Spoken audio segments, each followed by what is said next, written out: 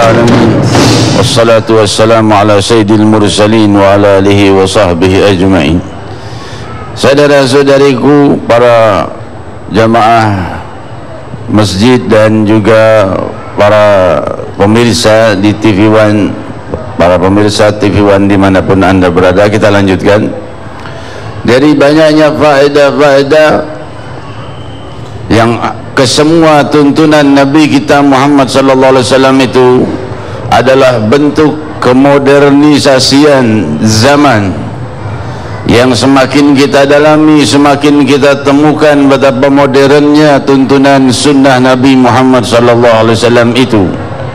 Saudara-saudariku yang kemuliakan seperti topik pembahasan kita di sore hari ini adalah uh, membangun akhlak mulia dan mengenal budi pekerti Nabi kita Muhammad sallallahu alaihi wasallam salah satu akhlak yang paling menonjol pada pribadi Rasul sallallahu alaihi wasallam itu adalah pemaaf.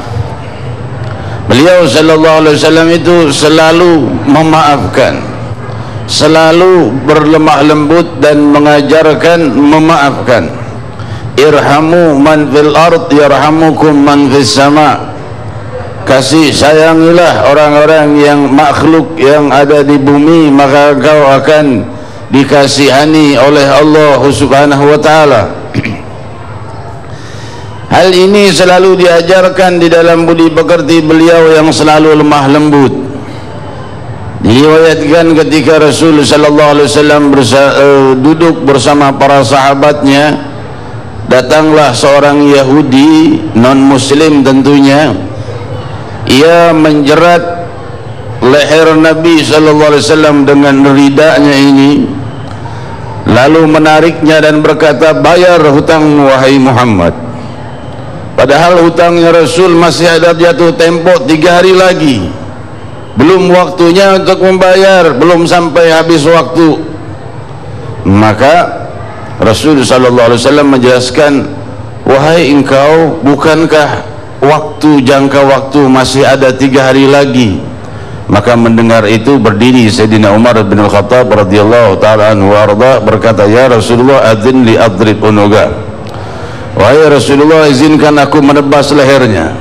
Dan buat kurang ajar sama Rasul sallallahu alaihi wasallam juga tanpa hal yang benar maka Rasul sallallahu alaihi wasallam bersabda wahai Umar kau salah. Semestinya kau ajari Yahudi itu dengan baik cara menagih hutang yang baik dan ajari aku cara berhutang yang baik. Walaupun belum jatuh tempo namun semestinya engkau sabarkan aku. Sabar wahai Rasulullah. Ini kan perbuatan orang yang enggak tahu dan engkau mestinya nasihati Yahudi itu. Sabar wahai Yahudi kan waktunya belum jatuh tempo. Demikian indahnya budi pekerti Nabi sallallahu alaihi wasallam maka Yahudi itu pun berkata asyhadu an la ilaha illallah wa asyhadu anna Muhammad rasulullah. Aku bersumpah tiada tuhan selain Allah dan Nabi Muhammad utusan Allah karena aku sebenarnya memang hanya untuk mencoba saja. Aku dengar Nabi Muhammad itu pemaaf aku pengen lihat seperti apa lemah lembutnya Nabi sallallahu alaihi wasallam Saudara-saudariku hal ini dibuktikan di Universitas Harvard. Baru saja ditemukan satu penemuan yang mengejutkan. Bahwa orang yang mempunyai sifat pemaaf itu lebih cepat diberi kesembuhan dari penyakitnya daripada orang yang pendendam.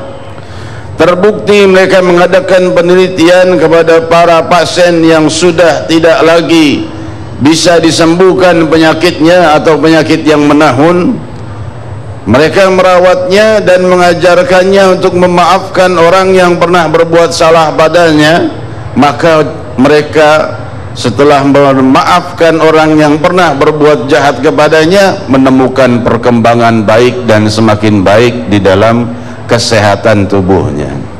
Hal ini dikenal bahwa sifat pemaaf itu juga menjadi alat penyembuh bagi tubuh kita alangkah indahnya budi pekerti Sayyidina Muhammad. Makin kita panut sang Nabi sallallahu alaihi wasallam makin sehat walafiat kita. Juga dijelaskan maaf bukan diriwayatkan ini dijelaskan.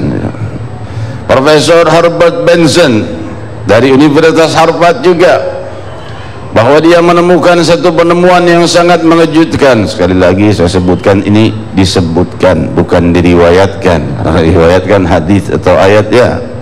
Saudara-saudariku penemuan yang sangat mengejutkan. Setelah ia mencari metode-metode untuk menenangkan hati dengan pengobatankah atau dengan hal-hal yang lainkah dengan olahraga atau lainnya ia menemukan banyak metode namun tidak menemukan satu metode. Ia temukan satu metode yang paling kuat menenangkan hati manusia adalah mengingat Tuhan penciptanya.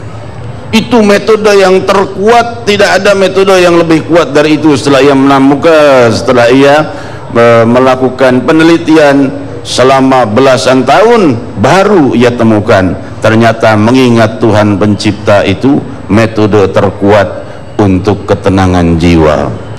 Itu sudah dijelaskan 14 abad yang silam difirmankan oleh Allah disampaikan oleh Nabi kita ala bidzikrillah tatmainnul qulub. Tahuilah dengan mengingat Allah itu akan tenanglah hati. Saudara-saudariku yang kemuliakan dan Rasul sallallahu alaihi wasallam adalah pembawa tuntunan yang multi sempurna bukan hanya membawa kebahagiaan bagi wilayah sekitar bagi diri seseorang yang melakukannya tapi untuk wilayah sekitar wilayah sekitar itu bereaksi dengan perbuatan baik daripada orang-orang yang melakukan atau beribadah. Kalau difirmankan oleh Allah Subhanahu wa taala kalau difirmankan oleh Allah Subhanahu wa taala Allah Subhanahu wa taala berfirman uh, laula laula rijalun minal mu'minin wa nisa'un mu'minat alladhi lam ta'lam ta'lamuhum an tata'uhum fatusibukum ma'ratun ila akhiril ayah. Wa kama qala law tazayyalu la'adzabna alladhina kafaru minhum 'adaban alima.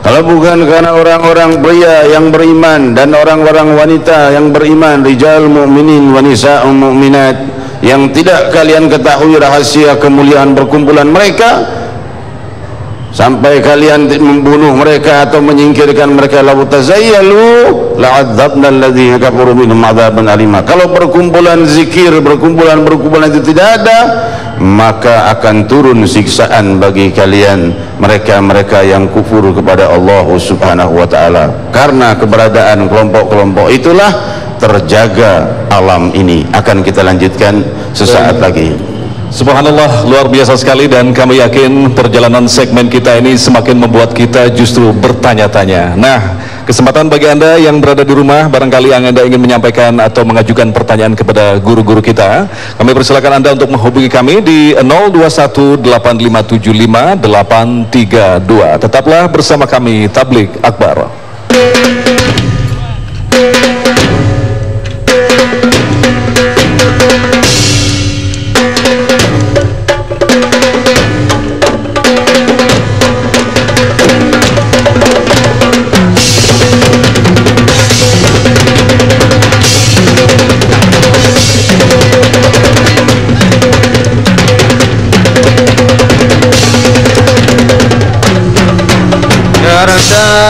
قلبي إذا حزقت ذكر فاطمة بنت النبي المصطفى.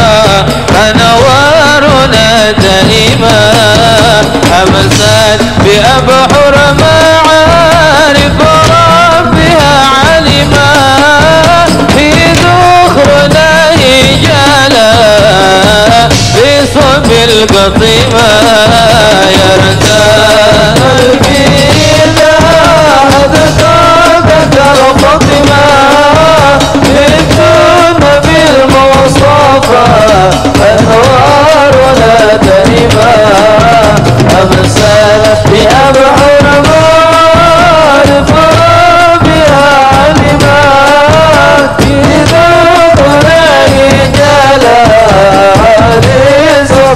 Bale